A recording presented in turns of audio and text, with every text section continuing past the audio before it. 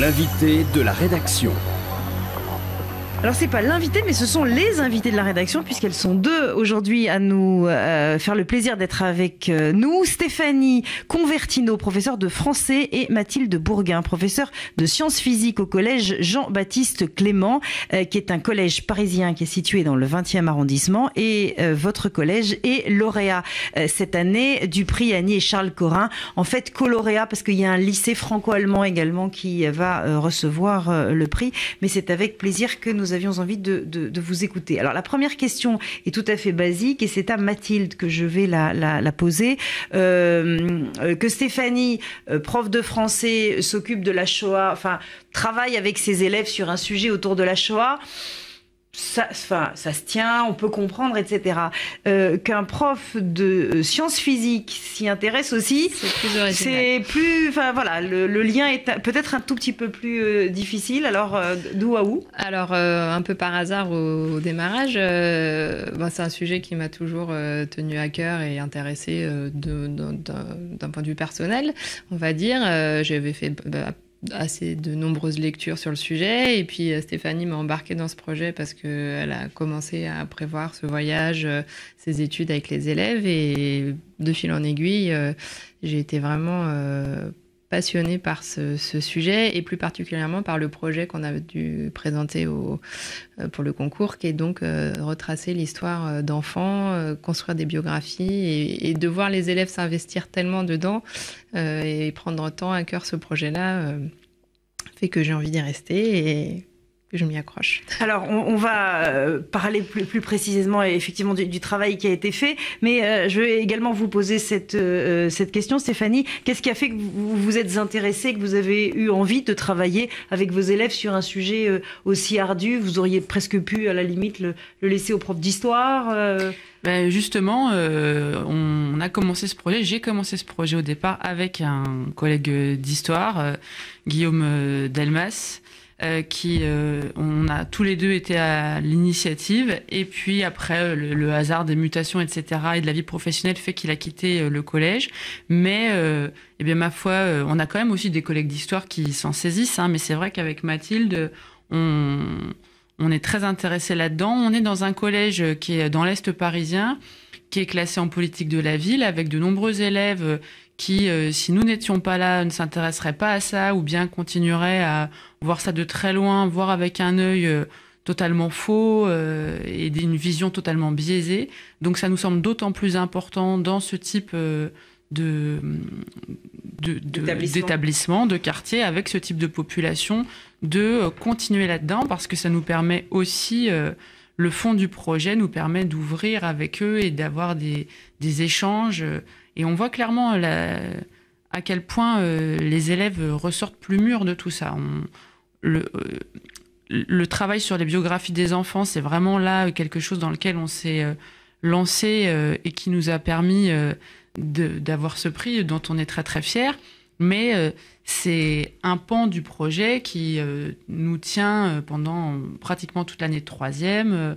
on les emmène en voyage à Auschwitz, euh, on va au mémorial de la Shoah, on va au mémorial de Drancy, on rencontre des témoins.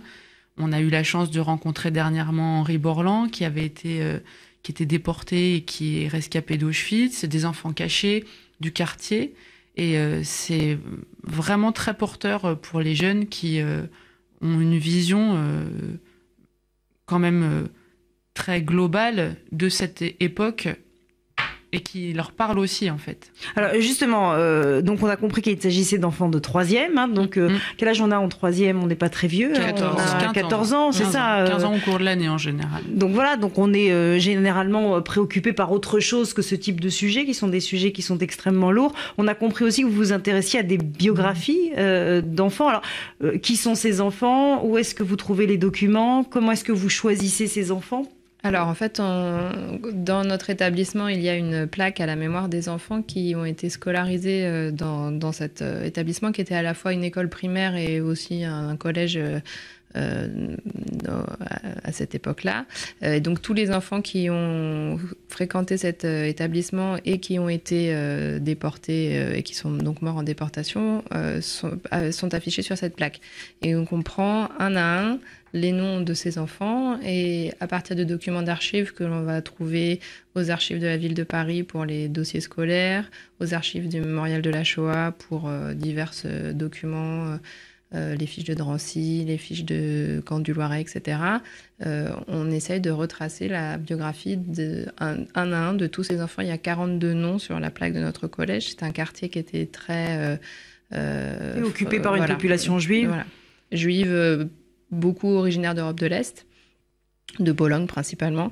Et donc, euh, à partir de tous ces documents, euh, un à un, on, essaye de retracer les biographies de ces enfants, enfin de reconstruire les biographies de ces enfants. Est-ce que des liens secrets Alors la question peut paraître un peu un peu étonnante, mais c'est vrai que euh, et c'est pas Josiane Savigno qui va me contredire quand on s'occupe d'une personnalité, quand on écrit une biographie. Alors vous, vous avez signé une Ursenard, c'est vrai que la personnalité commence à faire partie de, sa propre existence, c'est-à-dire que ça devient quelqu'un de, presque de presque familier. Alors c'est vrai pour les biographies d'écrivains. Oui, mais je pense que c'est vrai pour toute, entreprise biographique. C'est-à-dire qu'on s'intéresse de près à quelqu'un, on recommence à, retrouver son destin. non seulement, c'est pas qu'on l'imagine, on se coule dans son propre destin en mm. faisant l'enquête comme vous le faites pour, mm. euh, pour, ses, pour ses enfants.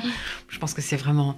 Euh, et je pense que les élèves les élèves, ça leur apporte quelque chose de très profond. Est-ce qu'ils est est qu'ils le vivent, ça, les élèves? Est-ce vous en parlent? ils, le vivent. Alors, euh, en plus, là, euh, on enrichit le projet euh, régulièrement. On avait commencé l'année dernière et on s'était chargé l'année dernière de faire les recherches cette année. On les a emmenés aussi aux archives pour qu'ils voient les documents concrètement. Il y avait eu un gros travail de la part du personnel des archives de Paris qui nous aide vraiment mm. beaucoup. Et du coup, pour les élèves, avoir vraiment les les grands, les grands registres du dénombrement de la population, voir que en 1931, ah bah tiens, là, il y avait un grand frère qui n'y est plus en 36. Enfin, tout ça, c'est des, effectivement, euh, tous, tous ces, d'ailleurs, euh, on les appelle nos anciens élèves. En fait, ces, ces enfants qui, dont le nom figure sur la plaque, c'est nos anciens élèves. On a pour eux euh, une, une, un attachement, un attachement, une affection. C'est comme si on les connaissait. Et il est arrivé que euh, nous soyons amenés à avoir au téléphone des descendants, ça nous met, nous et les élèves, dans des états euh, incroyables. On a l'impression d'avoir euh, Enfin, je ne sais pas si leurs descendants se rendent compte, mais c'est des, pour nous, c'est des rockstars, quoi. On a au téléphone euh, la cousine de euh, Maurice. Alors, c'est vraiment, enfin. C'est ça qui est, ce qui est, ce qui est marquant, c'est que les élèves finissent par appeler les enfants par leur prénom, comme, comme s'ils le connaissaient, quoi.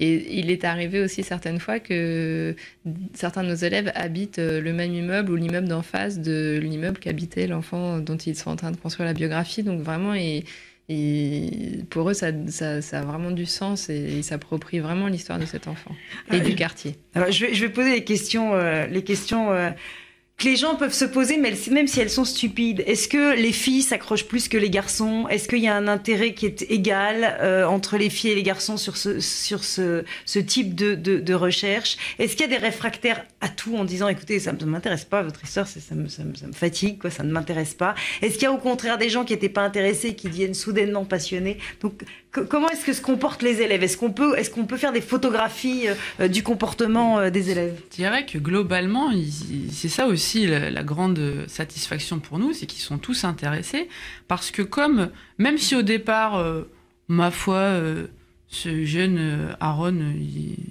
ne les Personne ne le connaît, quoi, voilà.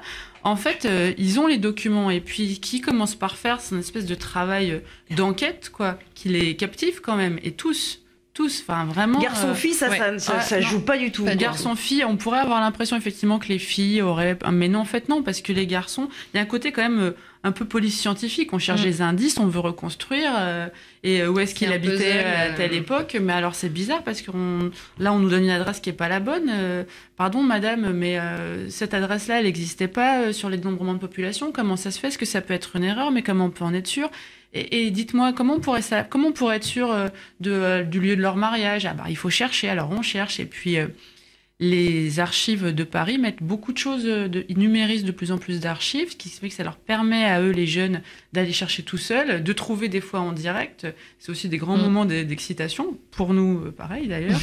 Donc non, c'est vraiment porteur. Alors c'est vrai qu'ils nous disent en fait, on travaille, on fait une semaine complètement décrochée, il n'y a plus de maths, il n'y a plus d'anglais. Ils travaillent là-dessus euh, pendant une semaine. Alors c'est vrai que comme on en profite pour les emmener au mémorial à Drancy, ils, peuvent avoir l'impression que c'est... Euh, c'est captivant, mais euh, émotionnellement, euh, Là, pff, c'est un peu. c'est- euh, ceux de voilà. cette année, le- les élèves de cette année là qui viennent, il y a une partie des élèves qui viennent de d'effectuer cette semaine, cette fameuse semaine euh, de projet.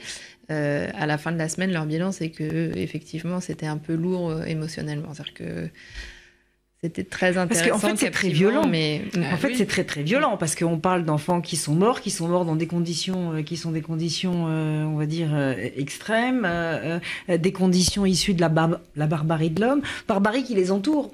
Mm. évidemment différemment, etc. Mais euh, effectivement, c'est une recherche qui est une, Oui, est une puis, recherche euh, qui est terrible, quoi, qui est très fait, violente. euh, Le fait de créer cette intimité avec cet enfant qu'il ne connaissait pas, mais de reconstruire son histoire et finalement de créer une intimité avec cette personne, euh, l'aimer encore plus face à la violence euh, justement de, de, de toute cette histoire. Alors, le 25 euh, janvier prochain, donc dans quelques jours, va être remis donc ce fameux prix. Il va être remis comme chaque année au lycée euh, Louis le Grand.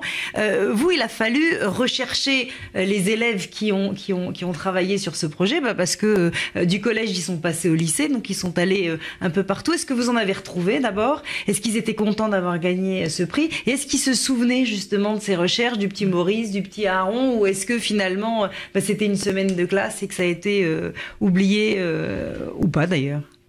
Non, alors il- tous ceux qu'on a contactés euh, ve- veulent venir en fait. hein. Tous Ils ceux qu'on a pu retrouver, on les a fiers, contactés. Ils sont très très fiers. J'ai encore, on leur demande de confirmer. J'avais encore un mail ce matin d'une jeune qui euh, me remercie de l'avoir euh, contacté. Euh, Ils sont très fiers du travail. Euh, Parfois ils sont très étonnés. Ouais, ils ont Euh, beaucoup de mal à y croire. euh, Ah bon Voilà, ah bon, on a gagné quelque chose. euh, ah bon, euh, c'est bon, ah bon, tiens, euh, bon. En plus, évidemment, ils, ils, ils sont partis, ils sont en seconde, donc on, on leur a pas dit qu'on avait candidaté. D'ailleurs, nous-mêmes, on on n'y croyait pas trop. On a candidaté en se disant, on est fiers de notre travail, euh, voilà, et puis on pense que c'est intéressant, et puis. euh, on, est- on était fiers de Mm. notre travail, de leur travail, et, et voilà. Mais c'est vrai que euh, quand on les prévient, eh bien, euh, ils sont très flattés, très heureux, et euh, ils, ils viennent vraiment avec plaisir. Ils seront là euh, euh, ce jeudi, euh, vraiment avec grand plaisir. Bah, Vous, vous ne serez pas là. Et non. Nous ne serons pas là parce que, eh bien, nous poursuivons notre projet et que cette année, nous avons de nouveaux élèves de troisième qu'il faut à leur tour euh, emmener faire ce voyage euh, de mémoire et d'études euh, à Auschwitz. Donc, nous partons le jeudi matin. Nous ne serons malheureusement pas là personnellement, mais euh, notre chef d'établissement, euh, Monsieur Sahuc, et nos collègues d'histoire euh, seront là pour euh, nous représenter. Une toute dernière question. Combien d'élèves avez-vous avez-vous pu de combien d'élèves avez-vous pu reconstituer euh, l'existence, la vie euh, jusqu'à présent? Il y en avait euh, 42 hein, sur la plaque. Oui, on- il y a dix biographies qui ont été déjà écrites, euh, dont certaines qui sont pour deux enfants, parce que parfois il y avait des fratries, donc euh, on fait les biographies des deux enfants en même temps. Euh, et on est en train d'en travailler sur huit cette année. Donc là, une partie des élèves a commencé à travailler sur ces biographies, donc de huit nouveaux noms, huit nouveaux enfants. Et euh, qu'on va continuer avec la- l'autre moitié des élèves qui feront leur, leur semaine de projet un petit peu plus tard dans l'année. Et qu'est-ce que vous allez faire de ces biographies? Vous pensez à, à éditer? Elles sont elles sont euh, Mais euh, en fait, pour le moment, on, on est vraiment dans le travail, mais euh, avec les élèves, c'est vrai qu'après, on, on aimerait peut-être pouvoir publier ça, Mm. parce que c'est un travail qui nous semble intéressant, riche, et puis aussi, on pourrait se prendre à rêver que d'autres établissements euh, feraient la même chose. Enfin, ce que j'encourage tous mes collègues à faire, parce que franchement, euh, c'est excitant et euh, à réaliser et euh, c'est une vraie source de fierté et de satisfaction. On a en plus l'impression, euh, en fait, on arrive après euh, d'illustres euh, prédécesseurs, on a l'impression de poursuivre un peu les travaux de Serge Klarsfeld. Donc c'est, c'est, euh, ça nous paraît euh, à nous être important euh, à tous les niveaux. Voilà. Nos invités étaient Stéphanie Convertino, professeure de français, Mathilde Bourguin, professeure de sciences physiques du collège Jean-Baptiste Clément. Dans le 20e arrondissement de Paris, lauréat donc cette année du prix Annie et Charles Corin pour l'enseignement de la Shoah. Et puisque l'occasion m'en est donnée, bah, je voulais vous remercier pour votre travail, pour ce travail-là, mais pour votre travail en règle générale, parce que c'est vrai que on est souvent amené ou parfois amené par facilité peut-être à critiquer le corps enseignant, à dire que ceci, à dire que cela. On a rarement l'occasion de pouvoir les remercier en direct pour ce qu'ils font pour nos têtes blondes et brunes. Eh bien, au nom de tous les parents euh, qui m'écoutent et qui ne peuvent pas le faire directement, merci donc de votre travail, merci de votre engagement auprès euh, des euh, enfants, et merci finalement d'en faire des citoyens responsables à l'une et à l'autre. Il est 12 h et 45 minutes, un tout petit peu de publicité avant de retrouver Josiane Savigno. Qui nous parle, Josiane? De Dominique Barberis, l'année de l'éducation sentimentale. J'expliquerai pourquoi ce titre. Retrouvez l'invité de la rédaction sur radio-rcj.info.